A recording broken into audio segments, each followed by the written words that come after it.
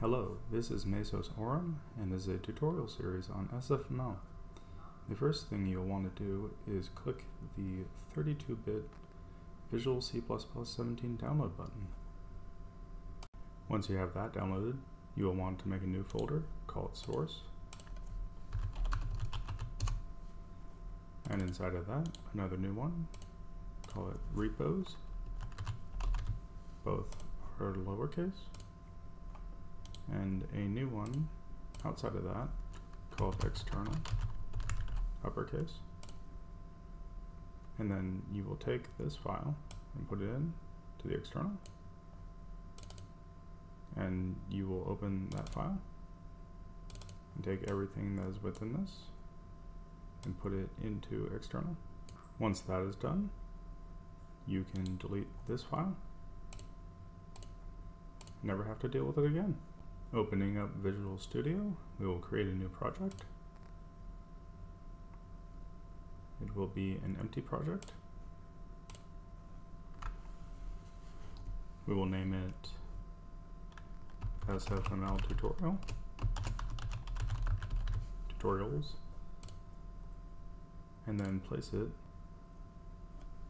in the repos file When you're done with that, create file. Now that we are in Visual Studio, we will create a new source file, call it main, and do the usual C++ startup.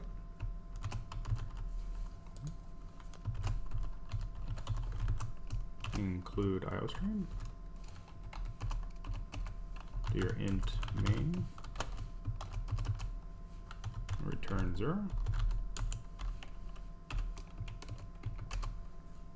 And here we'll do the usual hello world.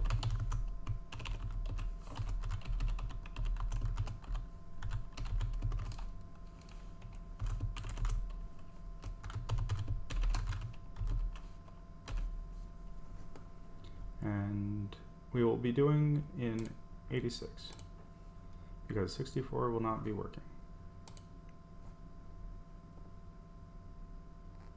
And it says hello world. That works well. Now that we have that done, we can take this external folder, copy it, put it into SFML tutorials. And once it has completed, we can take the stuff that is in bin, copy it, put it in the named folder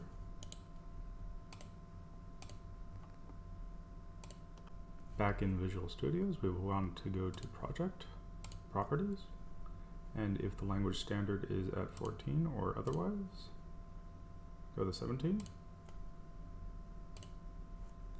And then go to the C, C++, and in additional include directories, go to edit, type in dollar sign, solution, dir as in directories, external, include, and apply.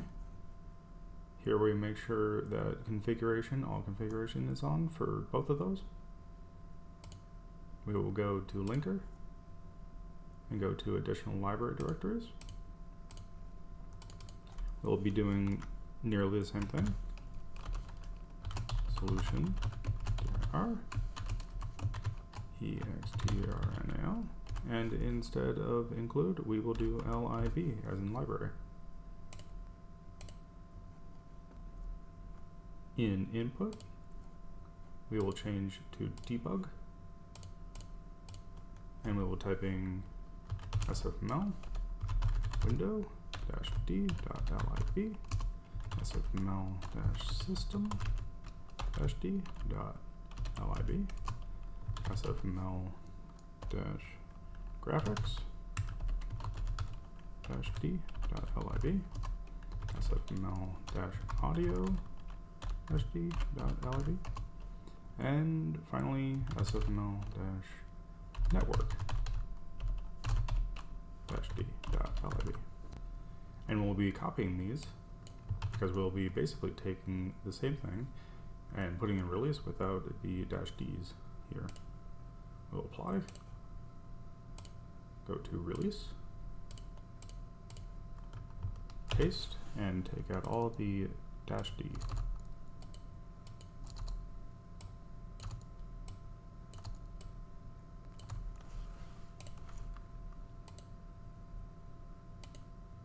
Now that that's done, we can include sfml graphics.hpp. Get rid of this. For the windows height and width, we want them both to be unsigned.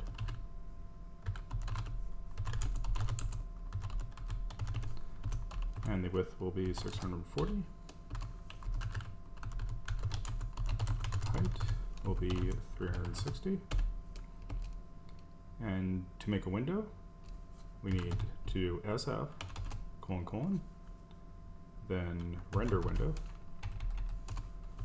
star window equals new sf render window.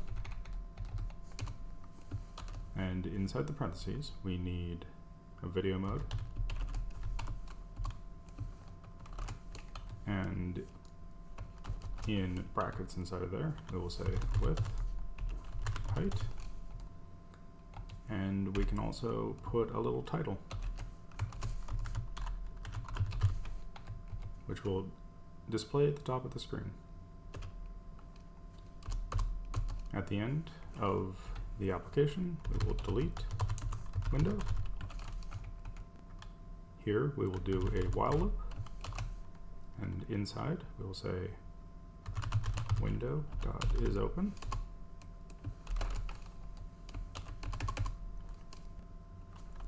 And inside the while loop, we'll put another while loop and say const standard optional event equals window poll event. And in there, if event is sf event closed, then we will close the window.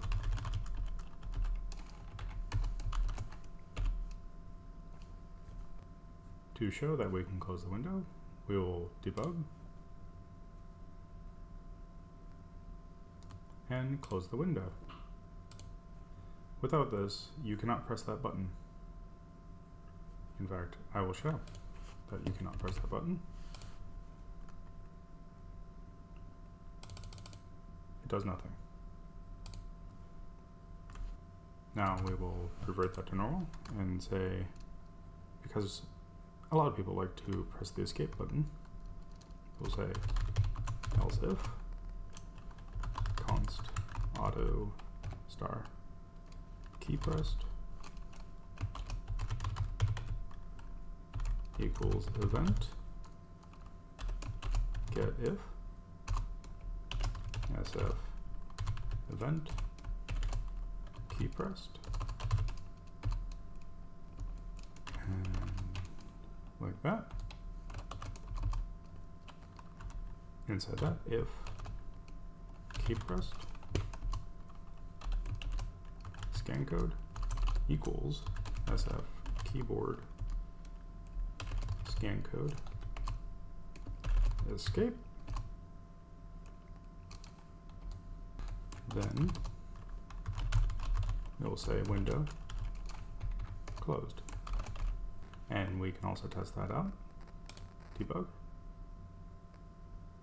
And press the escape button. And it has escaped.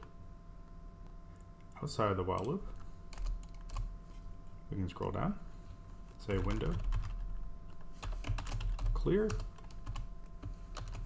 and we can either leave this blank, and it will be a black screen, which I will show first, and then after that, window display. In between here, later on, we will be drawing here. This is where shapes and sprites and everything goes when we are drawing to the screen. And here, all this is your rendering. Now I can show you what the screen looks like. And the background is now black. Also, you can change it to any color you want and even add textures. But for now, it will say the color will be, let's say, orange. And 88 and 00FF. This is the hexadecimal for orange. And the screen is indeed orange. That is the end of the first tutorial. Thank you for watching, and have a great day.